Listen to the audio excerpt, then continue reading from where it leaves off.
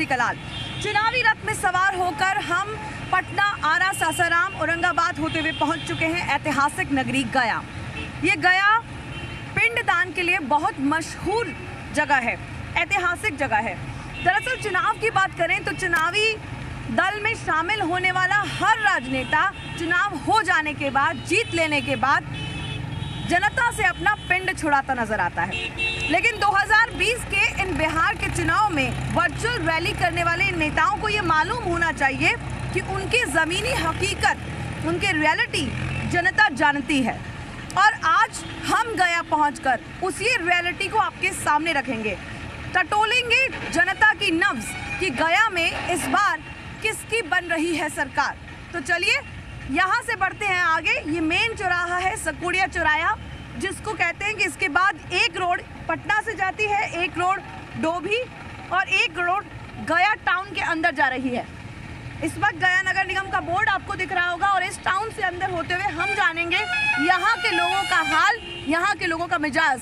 अब की बार किसकी सरकार? ये गाड़ी से आते हैं, ऐसे करते हैं, निकल जाते हैं। अब वोट का टाइम आया, ऐसे करेंगे। वोट खत्म ऐसे करेंगे। यहाँ देखिए सब खाने वाले हैं कोई गरीब को सहायता करने वाले नहीं। आते हैं ये गरीब वोट मांगने। कौन देगा ऐसा वोट? लालू प्रसाद के टाइम पे हम लोग खौफ में थोड़े थे और आज थोड़ा सा सुकून यही है कि खौफ नहीं है। मेन मुद्दे सबसे बड़ा यहाँ सफ़ाई का है पानी का है बिजली का है। नीतीश के तो नहीं चाहिए तेजस्वी? वो चलेगा।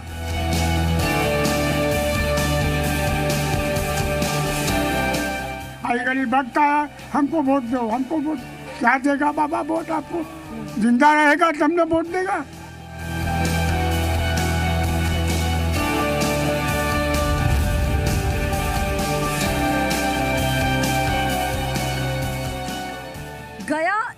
ऐतिहासिक नगरी है जहाँ का विष्णु पद मंदिर, जिसमें पितृ पक्ष में एक बड़ा मेला लगता है।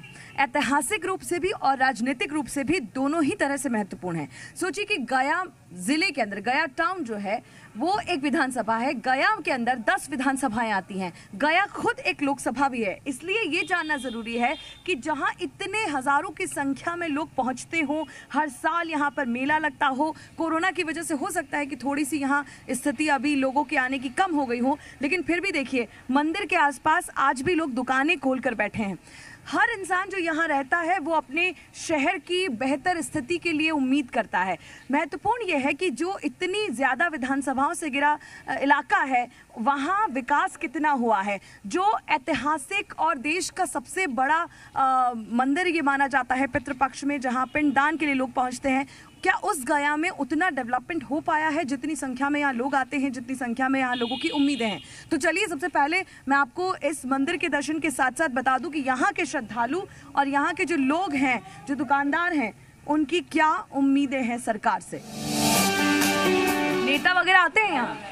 अभी नेता लोगों का लगा हुआ है।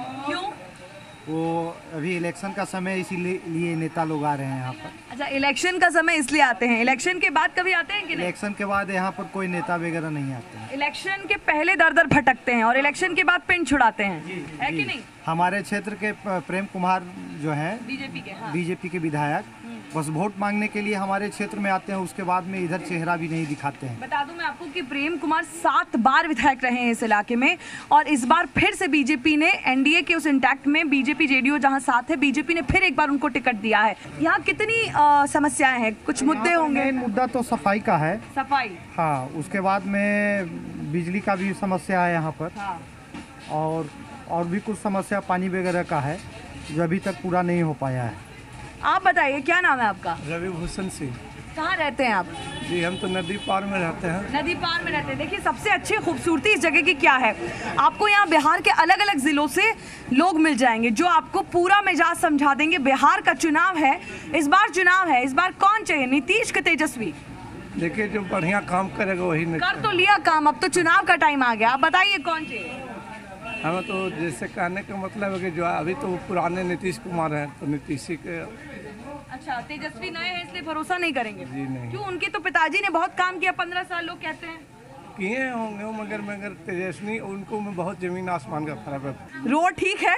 हाँ रोड की तो हालत अभी ठीक नहीं है। मैं खुद बता दूँ आरा सासाराम होते हुए जब हम औरंगाबाद बढ़े और फिर गया आए तो उस सड़क में हमें गड्ढे ज़्यादा थे और रोड कम थी। हाँ। तो यहाँ क्या मतलब क्या स्थिति है अभी? यहाँ पे सरकार को बिहार में कैसे लोग चुनेंगे?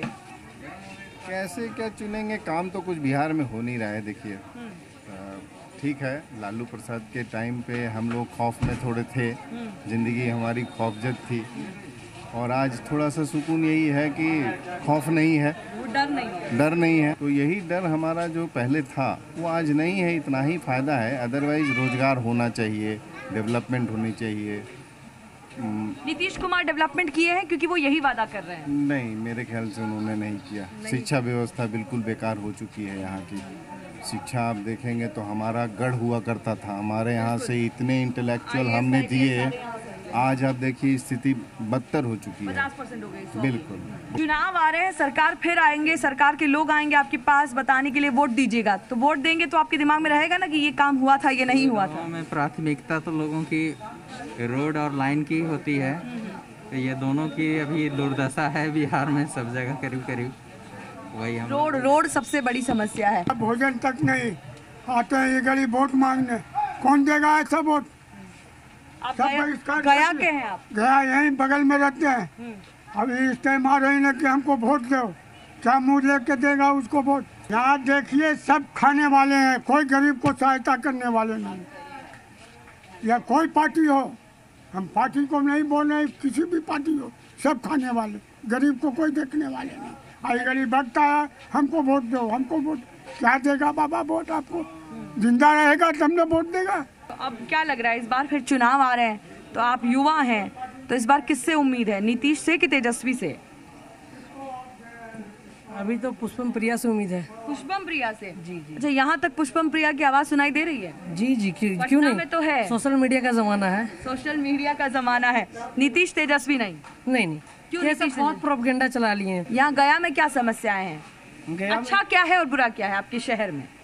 अच्छा ही है कि ज़्यादा सबसे ज़्यादा गंदगी है। अच्छा ही है? हाँ अच्छा है सबसे बड़ा गंदगी है।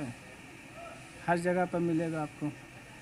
गंदगी है। सफ़ाई नहीं होती ये आ, बुरी बात है लेकिन ये व्यंग में कह रहे हैं। अच्छा ये बताइए तो इस बार कौन चाहिए आपको यहाँ से? यहाँ बीजेपी और कांग्रेस के बीच में मेन मुकाबला होता है। प्रेम कुमार जी इतने सालों से यहाँ विधायक रहे। कोई शिकायत है उनसे? पूरा पूर शिकायत है उनसे पैंतीस साल से सरकार है कुछ नहीं किए। क्या शिकायत है उनसे? पूरा पूर सरकार उनसे शिकायत है। पैंतीस साल जिस जिस जगह से वो राज कर रहे हैं पैंतीस साल में वो क्या किए गया के लिए? कुछ नहीं किए। कोई तरह का प्रोजेक्ट नहीं है उनका। कोई तरह का ये नहीं है। यहाँ परदेसी का जगह है। कोई इसी तरह का परदेसी के लिए कोई व्यवस्था नहीं है। उनके सहयोग से। अच्छा। तो इस बार सरकार किसकी चाहिए? नीतीश की चाहिए तेजस्वी की चाहिए या कोई और? नीतीश के तो नहीं चाहिए। नीतीश नहीं चाहिए। तेजस्वी? वो चलेगा। क्या नाम है सर आपका? राजीव कुमार गुप्ता। तो राजू कुमार जी कितने साल से दुकान है इधर? करीब करीब पंद्रह साल होने वाले। पंद्रह साल। और इन पंद्रह सालों में आपने क्या बदलते देखा है यहाँ पर? बस कुछ भी यहाँ पर का सच पूछिए तो बदलाव नहीं है। जो मंदिर के पास एक बाथरूम तक तो है ही नहीं कि जो आप लेडीज़ या जेंट्स को लग गए तो जाएगा तो कहाँ? रोड के किनारे खड़े होकर करते हैं लोग छुप करके करते हैं। अच्छा यहाँ बाथरूम नहीं है आसपास? आप जरा खोज के देख लीजिए कि बाथरूम है कि नहीं। आप तो रिपोर्टर हैं। आपको खुद समझ में आ जाएगा कि है कि नहीं। क्या यहाँ क्या काम होना चाहिए यहाँ पे? सबसे पहले तो बाथरूम का व्यवस्था होना चाहिए। नदी ये मंदिर के आसपास? हाँ थोड़ा बहुत फिर शहर में क्या दिक्कतें हैं ज़्यादा? शहर में गंदगी ज़्यादा है। गंदगी ज़्यादा है। किससे ज़्यादा उम्मीद है? नीतीश कुमार तेजस्वी या कोई और? देखिए ऐसे तो हम बीजेपी के वोटर हैं लेकिन फिर भी हम बदलाव चाहते हैं। तो प्रेम कुमार जी 35 साल से यहाँ पर हैं बीजेपी के। फिर एक बार बीजेपी ने उन्हीं को टिकट दिया है। तो और कांग्रेस और बीजेपी के बीच मुख्य मुकाबला है। तो इस बार क्या लग रहा है? फिर आप बीजेपी के साथ ही जाने वाले हैं? देखिए हम तो नोटा में वोट देंगे। नोटा में किसी को नहीं चाहिए कोई चाहिए कोई नहीं चाहिए। गुस्सा है? गुस्सा है कैंडिडेट सही नहीं है ना? मोहन श्रीवास्तव जी क्या अच्छे आदमी हैं? कांग्रेस हम्म। जब आप पटना से इधर गया की तरफ़ आते हैं तो कुछ जगह पर रोड बहुत अच्छी है लेकिन एक जगह पर आकर आपको आने के बाद सिंगल रोड मिलती है और वहाँ पे गड्ढे हैं। तो पूरे बिहार में ही जो सबसे बड़ी समस्या मुझे दिखाई दी वो एक तो सड़क है। दूसरी चीज़ शहरों में आप जाइए तो ट्रैफ़िक जाम बहुत होता है। रोड जाम की बहुत भयंकर स्थिति खराब है। तीसरी चीज़ ये कि यहाँ पर लोगों को गंदगी ने परेशान कर रखा है। जो स्थानीय मुद्दे हैं, उनमें। और जो यहाँ हमें पता चला कि लोग बता रहे हैं, एक तो रोड जाम है, बेरोजगारी है, पलायन है गंदगी है, ये सारी इश्यूज़ यहाँ पर स्थानीय इशू हैं। कुछ और जगह चलते हैं और वहाँ पर भी देखेंगे कि जब इस श्रद्धा के जगह से निकलकर, इस ऐतिहासिक नगरी में, इस पवित्र स्थान से निकलकर लोग आगे बढ़ते होंगे तो उन्हें गया में क्या नज़र आता है? चलिए हमारे साथ।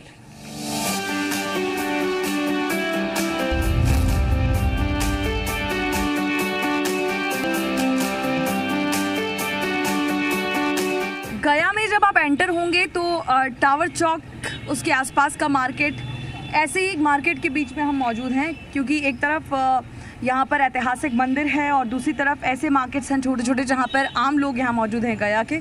इनसे बात करके ज़रा जानते हैं कि इस बार इनकी उम्मीदें क्या हैं। भैया क्या नाम है आपका? मेरा नाम संतोष कुमार है। संतोष जी मास्क वास्क नहीं लगाते आप? मास्क लगाते हैं पर अभी खोल के रख दिए हैं। क्यों? थोड़ा सा अकबक लगता है कहाँ के बोलने में डिस्टर्ब होता है इसी कारण अभी रख दिए अच्छा थोड़ा ध्यान भी रखिए मास्क वास्क लगाइए अगर रखे हैं तो। लगा लेते हाँ। लगा लीजिए अभी तो। क्या क्या समस्याएँ हुई बताइए। समस्या तो बहुत चीज़ है का है? सब चीज़ का है? बिजली का है? पानी का है? रोड का है? रहने का बहुत है। नली का सबका समस्या ही है। नली का समस्या क्या है? लोग बोलते हैं पानी का। वो आप मतलब पानी नहीं पड़ता है तो मतलब ये पूरा डूब जाता है। हम लोग को बहुत ज़्यादा परेशानी होता है।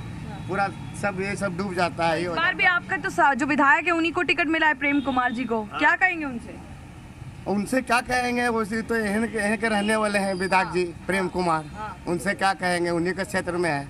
जो कर रहे हैं तो वो तो अच्छा कर भी नहीं रहे हैं। क्या नाम है आपका? मेरा नाम बबलू कुमार वर्णवाल है। अच्छा बबलू कुमार जी क्या यहाँ पर मेन मुद्दे हैं इस गया के? मेन मुद्दे सबसे बड़ा यहाँ सफ़ाई का है पानी का है बिजली का है। आपने अभी उनसे पूछा प्रेम कुमार के बारे में प्रेम कुमार को अपने पेट भरने के अलावा कुछ नहीं आता है। पैंतीस साल प्रेम कुमार यहाँ रहे कुछ नहीं हुआ कुछ नहीं हुआ मजबूरी में लोग वोट देते हैं। प्रेम कुमार को नहीं देते हैं। हम लोग बीजेपी को वोट देते हैं। हम लोग कभी एक कैंपेन चल रहा है जिसमें हम लोग छूट कर विरोध कर रहे हैं लेकिन कोई ऑप्शन नहीं है। लास्ट ऑप्शन नहीं है बीजेपी को वोट देना है। प्रेम कुमार को सिर्फ़ अपना पेट भरना जानते हैं। कुछ नहीं है। लॉकडाउन हुआ प्रेम कुमार भी कभी भी आए मोहल्ला में जानने के लिए। आपका समस्या क्या है? खाने का प्रॉब्लम क्या है? फुटपाथ लोग क्या कर रहे हैं? नहीं कर रहे हैं? कोई मतलब नहीं है। गाड़ी से आते हैं ऐसे करते हैं निकल जाते हैं। अब वोट का टाइम आया ऐसे करेंगे। वोट खत्म ऐसे करेंगे। ये अंतर है। अच्छा तेजस्वी क्यों नहीं आप बोल रहे थे? क्या बता रहे थे? तेजस्वी पहला नंबर एजुकेटेड नहीं है। अच्छा। ये तो आप जान रहे हो। हाँ। दूसरी बात हाँ। उनके पिताजी के राज में जंगल राज था। ये आप जान लीजिए। कैसे मतलब यहाँ डर था लोग का। डर था किडनैपिंग था छीन छोड़ था क्या नहीं था। हम लोग तो मेन मुद्दा वोट को नोटा जमाने के चक्कर में लगे हैं। ये पहला मैंने बिहार में सुना है कि लोग नोटा की तरफ़ बढ़ रहे हैं ना? बिल्कुल। कोई नहीं चाहिए। नहीं हमको नोटा चाहिए। हाँ। इसलिए नोटा चाहिए। प्रेम कुमार कुछ कर नहीं रहा कैंडिडेट मेरे नज़र में अच्छा है नहीं। लास्ट में नोटा। हाँ। वोट तो देना है। पढ़ते हैं पढ़ाई हो गई। नहीं अभी पढ़ाई हो रही है। कहाँ क्या कर रहे हैं? अभी मैं ग्रेजुएशन में हूँ। ग्रेजुएशन कर रहे हैं। फिर क्या उम्मीद है? क्या करेंगे आगे? कोई उम्मीद ही नहीं है। जॉब का कोई स्कोप ही नहीं है। गवर्नमेंट जॉब में तो वैकेंसीज ही नहीं निकल रही है। रेलवे का आप जान ही रहे हो। वैकेंसीज निकलती है तो एग्ज़ाम नहीं होते। एग्ज़ाम होते हैं तो रिज़ल्ट नहीं आती। तो इस बार क्या लग रहा है यहाँ लोगों को नीतीश तेजस्वी या कोई और? जी अभी तो हमारे पास कोई ऑप्शन नहीं है नीतीश कुमार को छोड़कर। और नोटा का कोई वैल्यू है नहीं। नन ऑफ़ द अभी हम लोग जाते हैं तो भी जिसकी भी मेजोरिटी होगी वही आएगा। तो नोटा का तो कोई वैल्यू है नहीं। तो हमारे पास क्या करें? तेजस्वी जो है अगर हम लोग तेजस्वी का बात करें तो लालू यादव लालू यादव का मतलब हमें तो उतना एक्सपीरियंस है नहीं बट जैसा हम लोग अपने सीनियर से सुनते हैं। सुनते हैं कि गुंडा रास्ता तो वो भी हमें नहीं चाहिए। तो नीतीश कुमार में लॉ एंड ऑर्डर तो चलिए कम से कम टॉयलेटेबल है। तेजस्वी कह रहे हैं दस लाख नौकरी देंगे। ये सब मैम वो होता है ना कि मैनिफेस्टो होता है वोटिंग वाला बस वही वोटिंग मैनिफेस्टो है। उसके बाद लोग भूल जाते हैं कि क्या वो बोले थे और क्या नहीं बोले थे। यहाँ पे सीट मोहन श्रीवास्तव कांग्रेस से दी गई है और प्रेम कुमार जो 35 साल से विधायक है सात बार के विधायक उनको फिर से एक बार टिकट दी गई आपका क्या नाम है? हमारा नाम रवि भूषण है। यही रहते हैं? हाँ ये क्या है यहाँ का मिजाज? यहाँ का मिजाज तो मिला जुला कर प्रेम कुमार को ही लोग देते हैं इसलिए कि यहाँ कोई बढ़िया कैंडिडेट आज तक अभी तक खड़ा नहीं हुआ है उनके टक्कर का। बढ़िया कैंडिडेट में आप लोगों के, के कौन दिमाग में कौन है? बढ़िया कैंडिडेट का मतलब क्या होता है? जैसे कि जो पढ़ा लिखा हुआ हो बुद्धिजीवी दिमाग में कोई नाम है कि कोई नेता है ऐसा ज़मीन पर यहाँ काम करता है? कोई ज़मीन पर हम इस, यहाँ पे नहीं, नहीं देखे। नहीं देखे। तो इस बार कौन? नीतीश? तेजस्वी? ऐसे मिला जुला जुला के नीतीश की सरकार भी ठीक ही ठाक चल चल रहा है कोई इसमें प्रॉब्लम नहीं है उनसे। थोड़ा बहुत तो हर सरकार लालू यादव की सरकार नहीं चाहिए मतलब तेजस्वी यादव की नहीं लालू यादव की सरकार तो आदमी लोग पंद्रह साल झेल चुका है मैडम। और उसके बाद फिर पुनः लोग पुनरावृत्ति करना नहीं चाहता है। वो आने के बाद फिर बाघ शेर का कहानी आपने सुना होगा कि पिंजड़े में जब बंद था तो, तो बोला कि हम अब नहीं करेंगे सब हम कुछ सब कुछ छोड़ दिया हूँ। लेकिन बाहर निकलने के बाद पुनः उसने वही दोहराया। तो लोगों के मन में इस तरह का धारणा बैठा हुआ है कि फिर पुनः पुनरावृत्ति ना हो, इसलिए मिला जुला के नीतीश सरकार ही ठीक है। चलिए देखिए, ये गया के वो लोग हैं जो आम लोग हैं यहाँ के और वो ज़मीन की जो बातें हैं वो आपको बताते हैं। मोहन श्रीवास्तव यहाँ नगर निगम में एक बड़ा पद रखते हैं।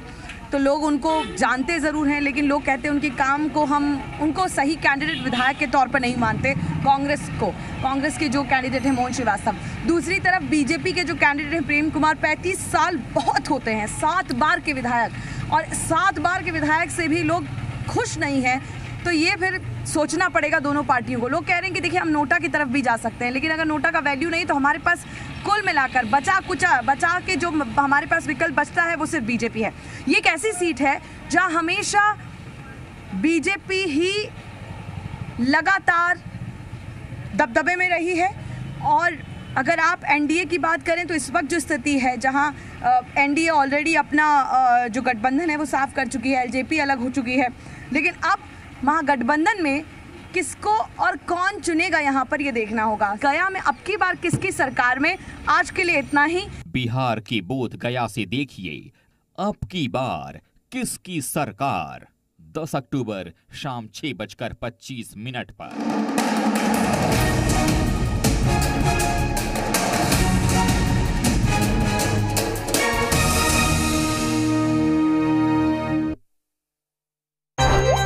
में हो या घर पर, अब होगी हर खबर आपकी हथेली पर। आप स्टोर पर जाएँ और डाउनलोड करें जी हिंदुस्तान ऐप पाँच भाषाओं में चुने अपनी पसंद की भाषा। जी हिंदुस्तान के लाइव टीवी पर कीजिए क्लिक और देश दुनिया की हर खबर पर रखिए 24 घंटे अपनी नज़र।